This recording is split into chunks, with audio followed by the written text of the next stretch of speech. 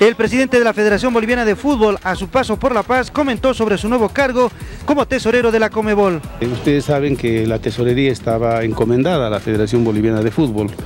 Yo he sido muy reticente a aceptar esto. Durante un mes he estado tratando de evitar esa designación por las responsabilidades que conlleva, pero sobre todo por las eh, los enormes problemas que se han suscitado a nivel eh, mundial. Rolando López también se refirió al problema de Favol y la posible renuncia de jugadores a la selección boliviana de fútbol.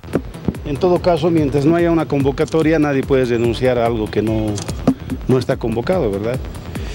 Y por supuesto el perjuicio es enorme para la selección y sobre todo para los jugadores que necesitan también mostrarse en competencias de orden internacional.